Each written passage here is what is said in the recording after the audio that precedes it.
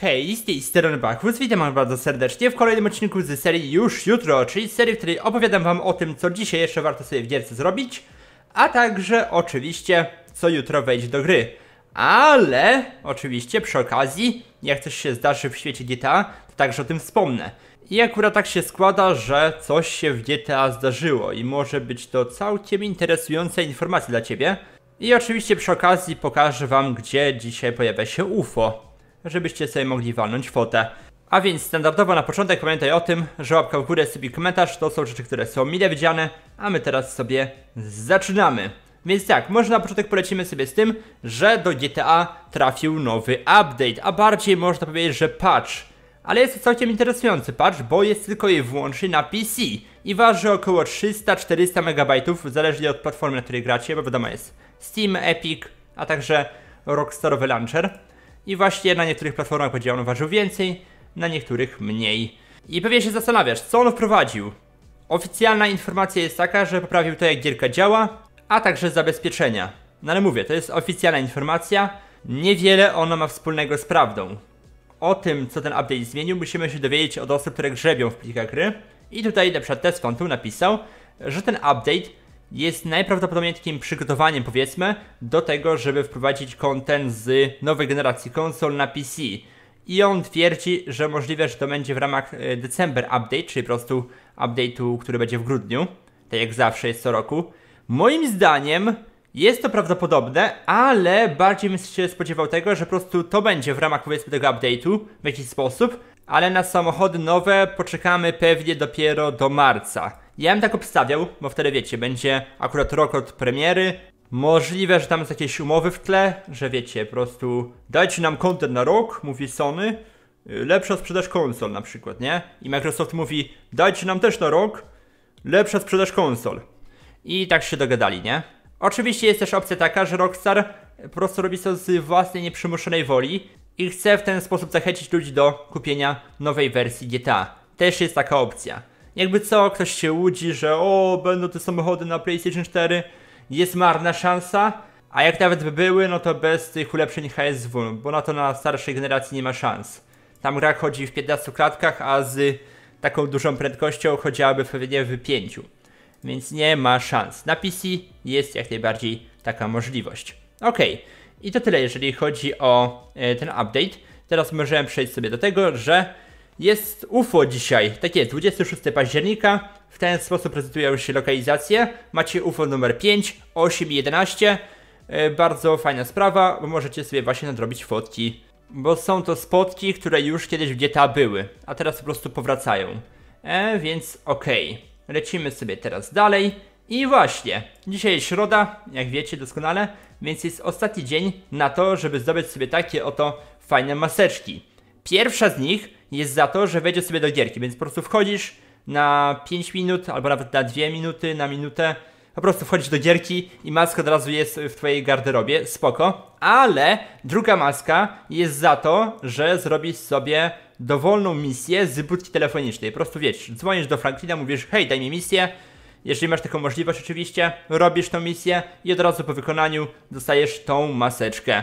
Więc jest bardzo fajna sprawa, dwie proste maski, w mniej niż 10 minut możesz je zdobyć, więc jak najbardziej moim zdaniem warto, bo są to maski wyjątkowe.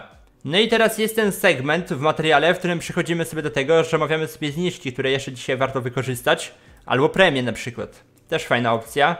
Problem jest taki, że no nic nie ma ciekawego w tym tygodniu, ani zniżki nie ma jednej ciekawej, ani premii. Ten tydzień jest naprawdę strasznie słaby. Oczywiście dostaliśmy ten cały event z Cerberusem, materiał o tym macie w karcie, no ale właśnie, jest taka zabawa na 5, może 10 minut, więc miejmy nadzieję, że kolejny tydzień, który zacznie się już jutro, będzie o wiele ciekawszy. Bo ten niestety jest tragiczny. Dobra, więc teraz możemy przejść sobie do tego, co wydarzy się jutro. I akurat tutaj e, akcja jest taka, że na 99% wrócą jutro owoce pejotli. Jest to bardzo fajna sprawa, bo możecie sobie naprawdę mnóstwo expa na tym wbić. Pejotle respią się co 48 minut i każda z nich daje wam 5000 expa, a zbieracie mniej więcej jedną na dwie minuty?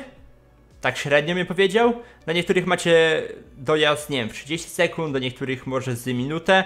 Plus jeszcze te wszystkie animacje, więc powiedzmy, że tam średnio te dwie minuty już tak lekko zawyżam, żeby was za bardzo nie nahypować. No ale tak czy siak, jest najlepszy sposób na zdobywanie expa, więc jeżeli jesteś osobą, która z jakiegoś powodu chce mieć wysoki level, to przez ten tydzień, który teraz będzie, będziesz w stanie wbić tyle expa, ile nie nabijesz przez cały rok. Jeżeli będziesz odpowiednio zbierał te pejotle. Oczywiście e, w tym roku postaram się dla Was materiał stworzyć z taką najlepszą, optymalną drogą do właśnie wbijania expa. Możemy się także spodziewać tego, że do GTA wróci także inny event powiązany z UFO, czyli wojna handlowa w Forcie Zancudo, gdzie naszym zadaniem jest zebranie specjalnych przedmiotów, a następnie dostarczenie ich do Omegi. Odpalić Rockstar może także samochód widmo. Oczywiście w tym roku mamy Cerberusa, ale samochód widmo, e, te czerwone tornado, to jest troszeczkę inny event, więc możliwe, że też się pojawi. Do tego także w poprzednim roku byli oprawcy i w tym roku Rockstar dodał nowego oprawcę, więc jest opcja, że Rockstar da nam czterech starych oprawców, którzy byli w zeszłym roku, a także tego jednego nowego, który będzie tak naprawdę w pewien sposób nami.